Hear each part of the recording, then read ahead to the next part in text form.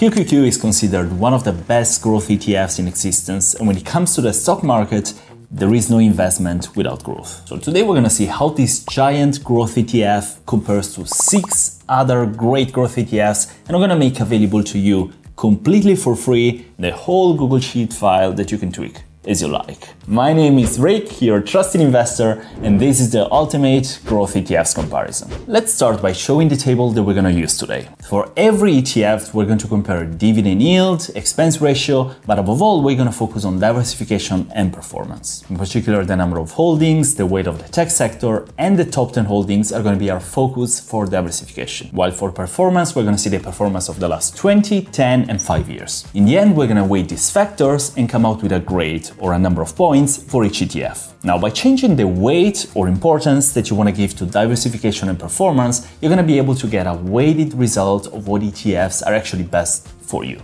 In this video, I'm also going to explain the index and the criteria used to choose the companies and you're gonna find all this information in the Google file that, as I said, I'm gonna make available to you totally for free through the link in the description below. The only thing I ask you is to be nice and use one second of your time to like this video because as you can imagine, only with your support I can grow my channel and one day maybe I'll be able to dedicate all my time to it instead of endless nights after my regular job. So grab your free file from the description, click like, subscribe to the channel, and now let's go on with the video. The first ETF, as you can imagine, is QQQ. The Invesco QQQ Trust ETF is based on the Nasdaq 100 index, has a total expense ratio of 0.20% and a total number of holdings of 101. In case you're interested in the dividend yield, Although it's not the most important factor for growth, QQQ gave a dividend yield of 0.58% in the last 12 months. The weight in the top 10 holdings is 50.92%, with the usual titans like Apple, Microsoft, Nvidia, and so on, and the total weight of information technology equals 52.22%. When it comes to performance, QQQ delivered an average annual return of 14.46% in the last 20 years,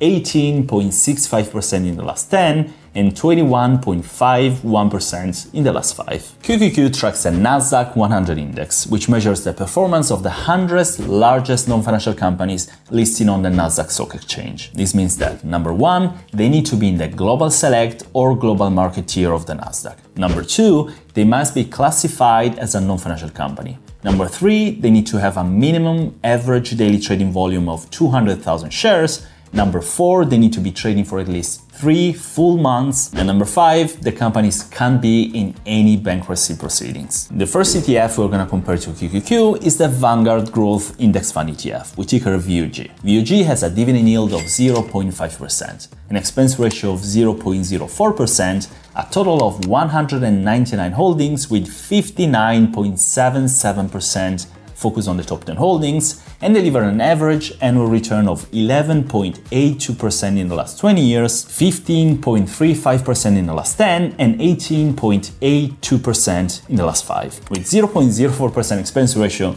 this fund is based on the CRSP US Large Cap Growth Index. This index currently includes 199 holdings, and the way it chooses them is that they start with the US Total Market Index, they take the large cap company from there, and then they score each equity to determine whether it's a growth stock or a value stock. Next ETF is the Vanguard Russell 1000 Growth ETF ticker VONG or VONG. VONG has a dividend yield of 0.63%, an expense ratio of 0.08%, and a total number of holdings of 440, with a concentration on both tech and the top 10 holdings of around 55%. When it comes to performance, VONG delivered an average annual return of 12.61% in the last 20 years, 16.22% in the last 10, and 19.26% in the last 5. The index tracked is called Russell 1000 Growth Index. It takes US companies with a share price above $1 and a market cap above $30 million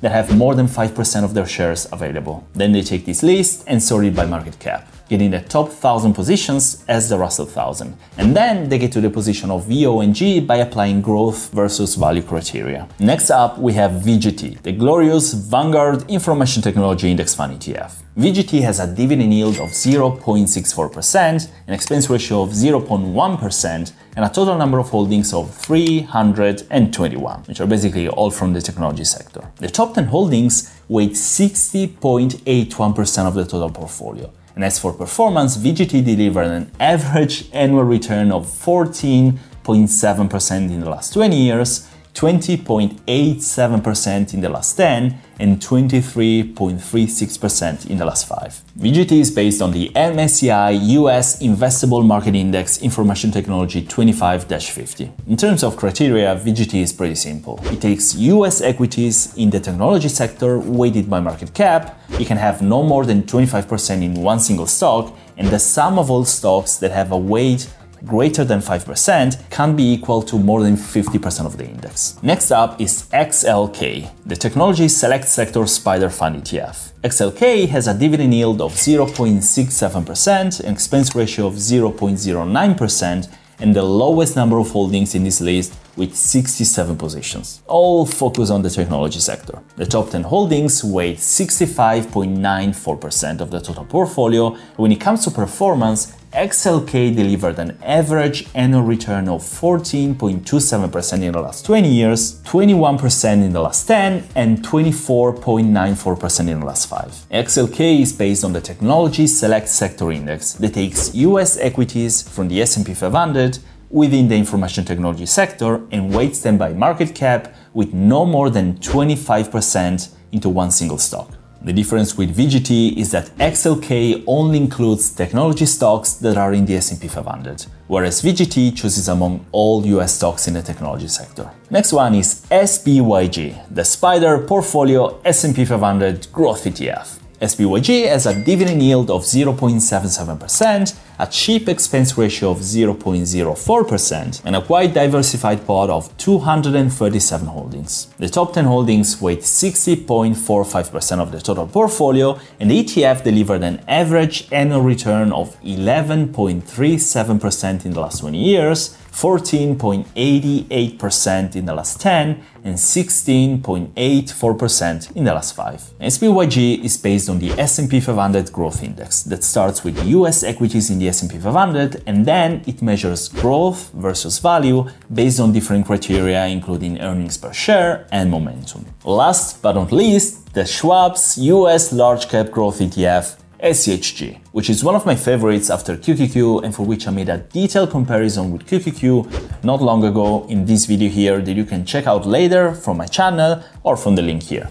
SCHG has a dividend yield of 0.41%, a cheap expense ratio of 0.04%, and 251 holdings. 46% of them are in the information technology sector and 60.79% of the whole ETF is made out of the first 10 companies. When it comes to performance, the ETF is 14 years old, so here I assume the realistic value of how it would have performed if you were older, because I didn't want to disadvantage this ETF because of a missing value. The 10-year annual return of 16.28% and the 5-year annual return of 20.05% are instead historical value. SCHG is based off the Dow Jones US Large Cap Growth Total Stock Market Index. This index selects US equities sorted by market cap and then using criteria like price to earning ratio, revenue and earnings growth, and price to book ratio, they choose the growth part that will land in the ETF. Alright, now that we have all the information about the ETFs, let's take a look at this table together. First of all, up here you see the values that we give to diversification and performance in order to weight the points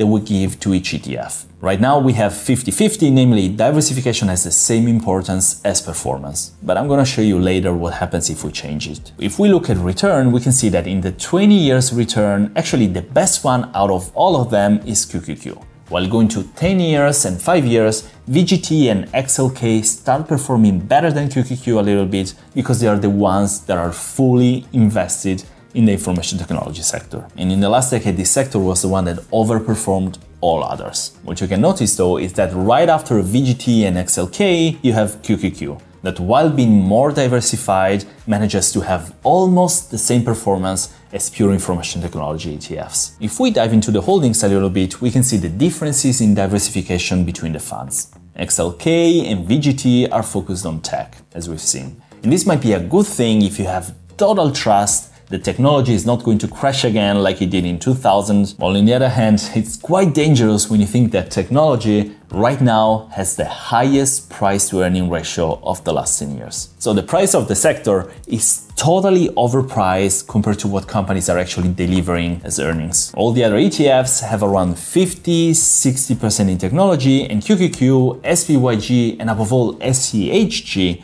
show the highest sector diversification. The same pattern repeats itself with the top 10 holdings, except that here SCHG despite 251 holdings, has a really high concentration of the top 10, while QQQ steals the first place here with the lowest concentration on the top holdings. So now you're starting to get a good impression at how these ETFs differ from one another. Some are more diversified, and some instead are more focused on tech. And the past performance grows more or less the higher the focus on tech is. So as you can see, it's hard to make an absolute decision without choosing how much diversification you want and how much past performance instead is important for you. So in this table that you can download for free from the description, I used a points method of grading that automatically gives a grade here based on the three diversification factors and a grade here based on the three performance factors. And then weights the two grades based on the level of risk you're ready to carry and therefore how important are diversification and performance for you, giving you as a result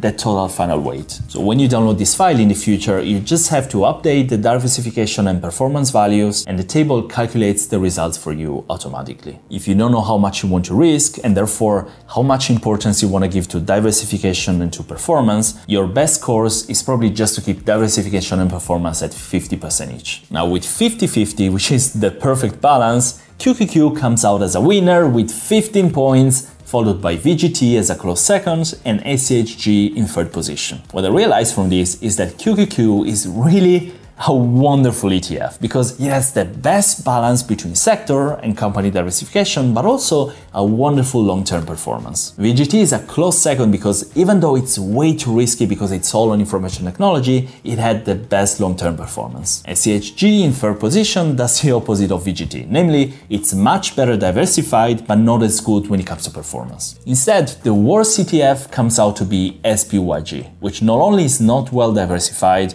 but also it doesn't have a great performance to show for. To conclude the video, I want to show you what happens if I set 70% on diversification. And as you can see, the performance weight goes automatically to 30%. Now with this configuration, QQQ is still the best ETF, but this time right with the same points we have VONG, which is just a little shorter on performance, but on the other hand has a great diversification with 440 holdings and a good distribution in the sectors. VGT here goes down to 12.7 points because now performance only has 30% of weight. If I instead decide that I don't care about diversification and I only care about past performance, I can put here for example 30% diversification and as you can see VGT obviously becomes the winner. But probably the most important thing is that still QQQ remains a close number 2. If you want to play with this file, you can download it for free from the description below, so just check it out and write me a comment with any question. If I could give you any value with this video, remember that the best way to say thanks and help me out with my work